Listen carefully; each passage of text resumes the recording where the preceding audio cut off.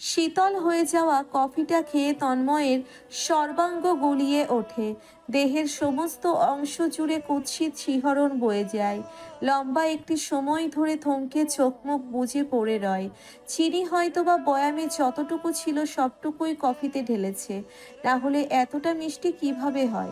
এহেন মিষ্টি ধাঁচের কফি খাওয়ার অভিজ্ঞতা তন্ময়ের এই প্রথম। সামনে আরও কত রকমের অভিজ্ঞতা উপভোগ করতে হয়, তা এক সৃষ্টিকর্তাই জানেন। বমি ভাবটা কেটে যেতেই বিছানা ছাড়লো। ফকফকে সাদা ফ্লোরে পদচারণ ফেলে উঠে দাঁড়াল। জানালার সম্মুখে এসে বাইরে তাকালো। সূর্যের ঈষৎ দেখা মিলল এই বেলায়। সূর্যের দুতি ছড়িয়ে বাগানটি লোভনীয় দৃশ্যে পরিণত হয়েছে। সাত সকালে বন মস্তিষ্ক নিপুণভাবে চমৎকার করতে এই দৃশ্যটুকু নিঃসন্দেহে কার্যকর। কার্যকরী এই বাগানের চেয়ে বাগানের মালিনীর সুশ্রী মুখমণ্ডল অবশ্য আরও দৃঢ়ভাবে কার্যকরী। এ যাত্রায় তার উষ্ণ অনুভূতির ছন্দ পতন ঘটাতে সেলফোন ভাইব্রেট হতে লাগল। বড় বড় ইংরেজি অক্ষরে বন্ধু মাহিনের নাম ভেসে উঠল। সাত সকালে ঠিক কী কারণে তাকে কল দিচ্ছে ভাবার সময় নিল না। কল রিসিভ করে ফোন কানে গুছল ওপাশে মাহির নিত্যকার হাবভাব পূর্ণ উচ্চ কণ্ঠে প্রশ্ন ছুড়ল। কই তুই? তন্ময় নির্বিকার গলায় জানালো। বাসায়। আশ্চর্যের সপ্তমে পৌঁছলো যেন বাহিনীর স্বর। বাসায়? তাও আজকে? কারণ কি? তোর প্রেয়াসীর মনোমালিন্য গলে গেছে? এহেন প্রশ্নের সম্মুখে তন্ময় নির্লিপ্ত। তুই কোথায়? তোকে খুঁজতে এসেছিলাম তোর অফিসে। এখন ফিরে যাচ্ছি। সন্ধ্যায় বেরোবি তখন বলব। ওপাশ হতে লাইন কেটে দেবার ধ্বনি কর্ণ গোচর হলো। সে হ্যালো এভরিওয়ান মোজবেটের সাথে আমার এক্সপিরিয়েন্স সত্যি অনেক মজার, যা আমাকে নগদ পুরস্কার জেতার সুযোগ করে দিয়েছে। একটি খেলা সবচেয়ে এক্সাইটিং তা হলো প্লিঙ্কো খেলাটির পুরো ডিটেলস বলে আমি আপনাদের সারপ্রাইজ নষ্ট করতে চাচ্ছি না। ট্রাস্টমি এটি হবে আপনাদের জন্য একটি নতুন এক্সপিরিয়েন্স আপনি যদি একজন গেম লাভার হন, মোজবেটে দিচ্ছে এক্সাইটিং সব গেম অফার মোজবেটেই দিচ্ছে খেলাই খেলায় নগদ পুরস্কার জেতার সুযোগ। মোজবেটে রয়েছে বিকাশ নগদ, রকেট, উপায় এবং অন্যান্য অনলাইন ট্রানজ্যাকশন। এর মাধ্যমে দ্রুত সহজে আপনার টাকা ডিপোজিট ও উইথড্র করার সুবিধা আছে। সাথে থাকছে দিনে চব্বিশ ঘণ্টা আর সপ্তাহে সাত দিন কাস্টমার কেয়ার সাপোর্ট। এই প্ল্যাটফর্মটি দিচ্ছে লাইভ স্ট্রিম ম্যাচ দেখার সুযোগ। নিচেই দিয়া আমার প্রোমোকোডটি ইউজ করে রেজিস্ট্রেশন ও আপনার প্রথম ডিপোজিটই পেয়ে যাচ্ছেন এক্সাইটিং ওয়েলকাম বোনাস আর দুশো পঞ্চাশটি free spin. Please don't miss this offer আর অবশ্যই লিঙ্কটি ফার্স্ট কমেন্টে পেয়ে যাবেন। সেলফোন বিছানায় ছুঁড়ে তন্ময় ওয়াশরুমে ঢুকলো। দাঁত ব্রাশ করে হাত মুখ ধুয়ে তোয়ালে হাতে বেরুতেই দেখল অরুকে। বিছানা গোছাচ্ছে। বিছানা গোছানো ওর বাহানা মাত্র নজর ঘুরে ফিরে তার পানেই নিবদ্ধ করছে। তন্ময় অবলীলায় ঈষৎ অদেখা হাসে। তোয়ালেতে মুখ পুষতে নিয়ে আয়নার সম্মুখে দাঁড়ায়। অরু ইতস্ততভাবে আরে আরে দুবার চেয়ে প্রশ্ন করে বসে। আপনি আজ বাড়িতেই থাকছেন বুঝি? তন্ময় আয়নাতে নজর ফেলে দেখে নিজের অবাধ্যগত বলদটাকে ভ্রু তুলে শুধায়। তুই চাচ্ছিস না আমি থাকি? অরুর সরু চোখজোড়া বড় হয়ে এলো। কেন চাইব না? তন্ময় উদাস হবার ভান ধরলো। চাইবি বুঝি? কেন? কথার মার মারপ্যাচ খেয়ে অরু থমকালো বিমুড়ো হলো।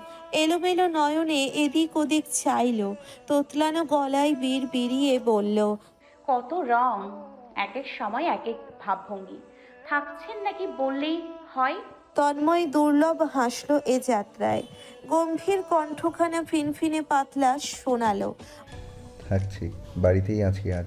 অরুর পাতলা পেলব অষ্টদয় চুড়ে রিনি রিনিঝিনি হাসির বিচরণ।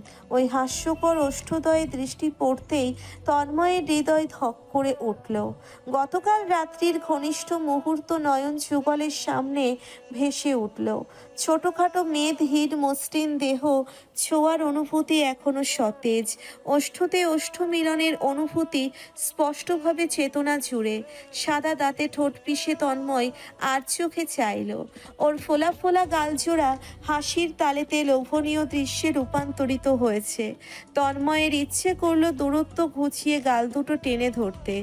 এক চিত্তে কিছু চুমু বসাতে পারলে হৃদয় প্রশান্তি অনুভব করত। তবে ক্ষণিকের প্রশান্তি লোভনীয় হলেও সেই লোভের ডাকে সে সাড়া দেবে না। ওরটা ভীষণ ছোট। এসব কুকর্মিত কাজকর্ম মেয়েটার অষ্টাদশী হৃদয়ে তুফান বইয়ে দেবে। তারপর পড়াশোনা যাবে গাঙে ভেসে। দেখা যাবে তাকেও ভয় টয় পাবে না। কথাবার্তা শুনবে না। এই যুবতী মেয়েদের আন্ডার কন্ট্রোলে রাখা প্রয়োজন। এই বয়সটা সকল ধ্বংসের শুরু। সে বিমর্ষ গলায় প্রশ্ন করল কলেজ যাসনি কেন? ওরও চুপসে গেল ভেবে চিনতে জবাবে বলল আপনিও তো অফিস যাননি। তাহলে তো যাওয়া উচিত ছিল। ওরও চেঁচিয়ে উঠল না একদমই উচিত ছিল না। আমি আজ ছুটি নিয়েছি আম্মা ব্যথার জন্য আমার ব্যথার জন্য চাচু নিয়ে আম্মা ব্যথার জন্য চাচু নিয়ে দিয়েছে। বিশ্বাস না হলে চাচুকে জিজ্ঞেস করেন। তন্ময় কঠোরভাবে তাকানোর প্রয়াস চালালো। রেগুলার ক্লাস অ্যাটেন্ড করবি কোনো প্রকার ফাঁকিবাজি চলবে না।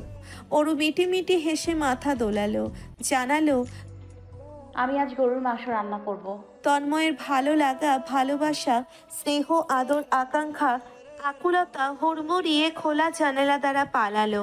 আতঙ্কে ধরপড়িয়ে উঠল বুকের ভিতরটা। অবিশ্বাস্য গলায় নিশ্চিত হতে শুধালো। তুই রান্না করবি? তন্ময়ের আতঙ্কিত কণ্ঠ অরুর কর্ণ কুকুরে প্রবেশ করল না। সে পুনরায় ব্যস্ত হলো বিছানা গোছাতে। গোছানোর এক ফাঁকে বলল আমি গরুর মাংস রান্না শিখেছি। আজ দুপুরে রান্না করব। তন্ময়ের ভ্রুদয়ের মাঝে সূক্ষ্ম ভাঁজ পড়ল। হাত পুড়িয়ে ফেলার ধান্দা? অরু আত্মবিশ্বাসী গলায় জানালো আমি শিখেছি রান্না করতে পারব। এতটুকু বলার পর কণ্ঠ খাদে নামিয়ে বাকিটুকু বলে ফেলল এক নাগারে। আর এভাবেও ভবিষ্যতের জন্য তো আমায় শিখতে হবে। তন্ময়ের বুঝতে আর বাকি রইল না। এই গরুর মাংসের তোড়জোড় কার জন্যে হচ্ছে? নস্টালজিক অনুভূতি হলো তার। পর মুহূর্তেই চিন্তিত। অরুর রান্না বান্নার করুণ অবস্থা। ঠিকঠাক রান্না করলেই হয়, না হলে আজ তার প্রিয় খাবার অপ্রিয়র তালিকায় যুক্ত হবে। প্রেয়সীর উত্তেজনায় ঘি ঢালতে তন্ময় কোনো রকমে বলল অল দ্য বেস্ট আত্মবিশ্বাসের সঙ্গে অরু গদগদ ভঙ্গিতে মাথা দোলালো। ছোট করে খেতে আসুন বলে প্রফুল্ল বদনে বেরিয়ে গেল। তন্ময় দীর্ঘশ্বাস ফেলল। কফি খেয়ে পেট গুলিয়েছে। গরুর মাংস খেয়ে পেট ঝলসে না গেলেই আলহামদুলিল্লাহ। সকালের নাস্তা করতে তন্ময় রুম ছেড়ে বেরোলো। সিঁড়ি বেয়ে নামতে নিয়ে দেখল লিভিং রুম ছুড়ে নিস্তব্ধতা, শূন্যতা। মোস্তফা সাহেব আনোয়ার সাহেব অফিসে চলে গিয়েছেন। দীপ্ত স্কুলে সাবিহা রুবি এ সময় ইউনিভার্সিটিতে। আকাশ ইদানিং অহির সাহেবের সঙ্গে কাজে বেরোয়।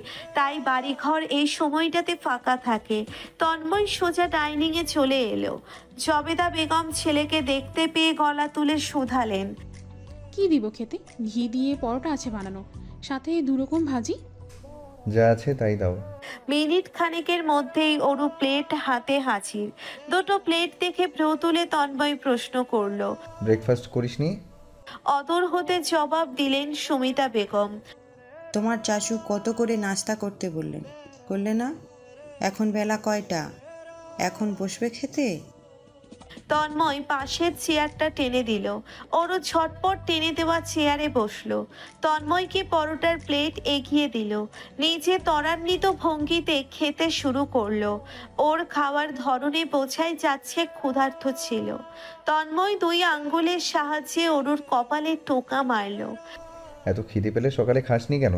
না খেয়ে থাকার মানে কি? আর যদি এমন না দেখি, বোঝা গেল? ওরু পরোটা মুখে পুড়ে মাথা দোলালো যার অর্থ সে বুঝেছে ব্যস্ততায় খেতে নিয়ে খাবার তালুতে উঠল তন্ময় চটচল দিয়ে এক গ্লাস পানি এগিয়ে দিল পানিটুকু গিলে নিয়ে ওরুখানি খাওয়ার গতি কমালো আর চোখে চাইলেও পরিপাটি তন্ময়ের দিকে। জবেদা বেগম এলেন তন্ময়ের উদ্দেশ্যে বললেন বাবা তুই বাসাতেই তো আছিস তাই না? তন্ময় খেতে নিয়েই জবাব দেয় হুম কোনো দরকার ছিল? হ্যাঁ রে একটু বাজারে যেতি কিছু তাজা সবজি লাগবে। যেই বাড়ি থেকে এলাম সে বাড়ির বাড়িওয়ালা রাহানুমা আফাকে দাওয়াত করেছিলাম। মেয়েটা নিয়ে আজ আসবে জানিয়েছে? ভালো মন্দ রান্নাবান্না তো করতে হয় নাকি? অরু খাওয়ার এক ফাঁকে প্রশ্ন ছুড়ল। ওনার মেয়ে আছে বুঝি? কে সে? রেবেকা। সাবিহার সাথেই তো পড়তো চিনিস না? এখন চিনলাম। তন্ময় বলল লিস্ট করে দাও কি কি প্রয়োজন। জবেদা বেগম দ্রুত পায়ে ছুটে চলে গেলেন লিস্ট করতে। অরু এই ফাঁকে সুকৌশলে বলল আমিও যাব। তুই যে কি করবি যাওয়া লাগবে না। পরোটার শেষটুকু মুখে ঢুকিয়ে অরু উঠে দাঁড়াল। আমি রেডি হয়ে আসছি। বিশ মিনিটের পথ অতিক্রম করলেই দুটো মল আছে।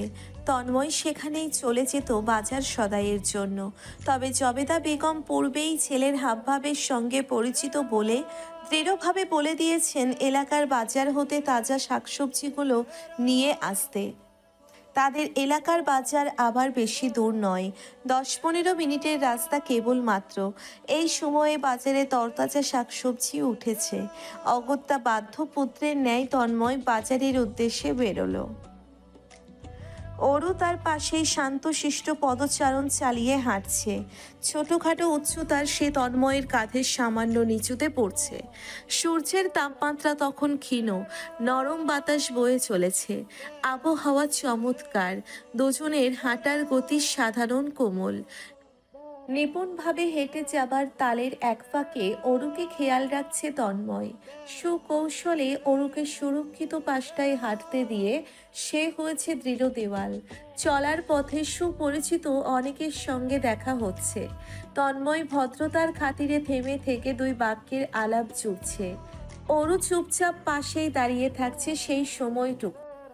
তন্ময় বাদে ওরার কোনো প্রকার কোনো কিছুতেই মাথা ব্যথা নেই। মেয়েটার এহেন উদাসীনতা উপলব্ধি করে সে অগোচরে ঈষৎ হাসল। এই সময় বাজারে কিঞ্চিত ভিড়ের হইচয়ের দেখা মিলল। তন্ময় পকেট থেকে লিস্টের কাগজ বের করল। চারিপাশে বিচক্ষণতার দৃষ্টি ফেলে তাকালো। অরুর তুলতুলে নরম ডান হাতটা নিজের হাতের মুঠোয় নিয়ে নিল। এগুতে এগুতে সতর্ক করল। পাশে পাশে থাক। অরুর অষ্টাদশী হৃদয়ে তখন উষ্ণ পরশের তীক্ষ্ণ অনুভূতির বিরাজ। সে কোনো মতে দুবার মাথা নাড়ালো। এক চিত্তে চেয়ে রইল পুরুষালী হাতের মুঠোতে থাকা তার ছোটোখাটো হাতখানার পানে। দুটো একত্রিত হওয়া হাত ছোড়ার দৃশ্যটুকু নির্নিমেষ উপভোগ করল। তন্ময় তখন ব্যস্ত কেনাকাটাতে, গুনে গুনে বিশ মিনিট বাজারে চলে গেল। তালিকায় থাকা শাকসবজি নেওয়া হতেই একটি রিক্সা থামালো। অরু উঠে বসতেই তন্ময় পাশে উঠে বসল। দুহাতে তার শাকসবজির ব্যাগ। তন্ময় এ যাত্রায় উপলব্ধি করল ওরু উসখুস করছে। আরে আরে চেয়েই চলেছে। এবারে ভ্রু তুলে দৃষ্টিতে দৃষ্টি মেলাতেই অরু চোরের মতো এলোমেলো দৃষ্টিতে এদিক ওদিক তাকাতে লাগল। তন্ময় নিবিড়ভাবে ওর সুশ্রী মুখমণ্ডল দেখে শুধালো। কিছু হয়েছে? অরু অকপটে জবাবে মাথা নাড়ালো যার অর্থ বোঝালো কিছুই হয়নি। মুখে সে কুলুপ এঁটে থাকল। তন্ময় জিজ্ঞাসু দৃষ্টিতে তখনও চেয়ে যেন দৃষ্টিতেই বলছে দ্রুত বল কি হয়েছে? অরু আর চোখে চেয়ে এ যাত্রায় মুখ খুলল। কিছু হয়নি আমি শুধু দেখছিলাম। তন্ময় নির্বিকার হাবভাবে বলল ওর আমাকে নাকি? বিরক্ত গলায় জানালো আশপাশটা দেখছিলাম। তন্ময়ের কণ্ঠ ছুড়ে নির্লিপ্তের ছাপ। ও আচ্ছা। কেমন লাগল আশপাশটা? সুদর্শন তো। অরুর মেজাজ বুঝি খারাপ হলো। কণ্ঠস্বরে একরোখা তেজি ভাব। দুই ধাপে উচ্চ মাত্রায় পৌঁছলো। আশপাশ সুদর্শন হয় কীভাবে ভাইয়া? সুদর্শন পুরুষদের সৌন্দর্য বর্ণনাতে ব্যবহার করা হয়। আমি তো আমার আশেপাশে কোনো সুদর্শন পুরুষ দেখতে পাচ্ছি না। তন্ময় ভ্রু নাচিয়ে প্রশ্ন করে বসল। ইউ শিওর অরু অন্য পাশে ফিরে তাকিয়েছে ইতিমধ্যেই ওর কালো ঘন চুলগুলো ছুটিতে বাঁধা। ওনার এক অংশ তার কোলে পড়ে। অরুর মুখশ্রীর এক পাশটা তন্ময় দিব্যি উপভোগ করল। লালাভ গাল দুটো চাহির করছে অরু লজ্জিত। অরু হাব ভাব লুকোনোর বৃথা প্রচেষ্টা সে দারুণভাবে তৃপ্তি সহকারে ভক্ষণ করল। এবারে রিক্সাটা এসে থামল শাহজাহান বাড়ির সামনে। অরু তৎপর নেমে এলো। আগে ভাগে ভিতরে চলে গেল। দারোয়ান চাচা ছুটে এলেন। কক্সবাজারের ব্যাগগুলো দুহাতে তুলে নিলেন। নিজ উদ্যোগে অগ্রসর হলেন ভেতরে। রিক্সা ভাড়া মিটিয়ে তন্ময় ভেতরের উদ্দেশ্যে হাঁটা ধরল। অরু রান্নাঘরে ছুপ ছুপ করছে। গরুর মাংস রান্না করতে যাওয়ার ভূতটুকু এখনও মস্তিষ্ক হতে বিতাড়িত হয়নি। সমিতা বেগম গলা তুলে বললেন, গরুর মাংসগুলো কেন নষ্ট করতে চাইছিস হ্যাঁ? আজ মেহমান আসবে। আবল তাবল কাজকর্ম অন্য একদিন করিস। অরুর ভোতা মুখটুকু দেখে তন্ময়ের হৃদয় নরম হলো। মায়া লাগল। একটু না হয় কষ্ট করে খেয়ে নেবে? দশ মিনিটের কষ্ট প্রেয়সীর সম্মুখে নিছক বটে। তন্ময় লিভিং রুমের সোফায় বসতে নিয়েই উচ্চ কণ্ঠে বলল ইচ্ছে যেহেতু হয়েছে ওকে রাঁধতে দিন চাচি। সমিতা বেগম অসহায় অনুভব করেন। জবেদা বেগম হেসে বলেন থাম তো আমাদের মেয়ের রান্না আমরাই খাব। মেহমানদের জন্য তো রান্না হচ্ছে। এই অরু আয় বড় মায়ের কাছে আমি পাশ থেকে এক টুকরো বলে কয়ে দিব ঠিক আছে? মুরগি যেভাবে চাল খাই ওরু সেভাবেই লাগাতার মাথা দোলালো। ত্বরান্বিত পায়ে এগিয়ে গেল জবেদা বেগমের পাশে। মন প্রাণ লাগিয়ে নিপুণভাবে শিখতে লাগল গরুর মাংস রান্না। অদূর হতে এই দৃশ্য দেখে তন্ময় ভাবল খাবারের টেস্ট ভালো না হলেও তার হৃদয় নিশ্চিত আজ প্রশান্তিতে পরিপূর্ণ হবে। দ্বীপ্রাহরিক নামাজের আগ পর্যন্ত রান্নাঘর ছুড়ে রান্নাবান্না চলল। তন্ময় নিজ কক্ষে ফিরে এসেছে। ওয়ার্কআউট করে কৌশল নিয়ে ফেলছে। ফিনান্সিয়াল মিসম্যানেজমেন্টের বইটা নিয়ে বারান্দায় বসেছে। মনোযোগ সহ সে বইটা পড়ছে। এরই মধ্যে তাকে বিরক্ত করতে দু তিনবার দীপ্ত এসেছে। ল্যাপটপ নেবার অজুহাত ধরে সাবিহাও মিনিট খানেক পূর্বে এলো। তৃতীয় জন অর্থাৎ রুবি এলো এখন। তন্ময় তড়িৎ বইটা বন্ধ করল। গুরু গম্ভীর মুখে গম্ভীর কণ্ঠে ধমকের সুরে শুধালো। কি চাই? রুবি চমকালো। বুঝলো দুজনের দুষ্টুমির অপরাধ তার কাঁধে পড়েছে। অতপর তোতলানো সুরে জানালো কিছু না ভাইয়া। বলেই সে এক দৌড়ে পালালো তন্ময় দীর্ঘশ্বাস ফেলে উঠে দাঁড়াল। বাসায় সবগুলো বাদর ফিরেছে। এখন আর শান্তি মগ্নতায় বই পড়া সম্ভব নয়। বইটা সেলফে রেখে পিছু ফিরতেই অরুর আদুরে মুখশ্রীর দর্শন হলো। তন্ময় ভ্রু তুলে বলল আপনার কি প্রয়োজন? অরু মুহূর্তেই মুখ ভেঙালো, হন হনিয়ে বেরিয়ে গেল। চলে যাওয়ার জন্যে এসেছিল বুঝি, কপালে দুই আঙ্গুল ঘষে তন্ময় দীর্ঘশ্বাস ফেলল। দেওয়াল ঘড়িতে নজর পড়তেই দেখল দুটো বাজলো বলে। সেলফোন হাতে তুলে দেখল মিসড কল এসে আছে। কল ব্যাক করে কথা বলছিল। ওই সময় দীপ্ত দুয়ার হতেই চেঁচিয়ে ডাকলো। ভাইয়া, মেহমান এসেছে। বড় মা ডাকছে।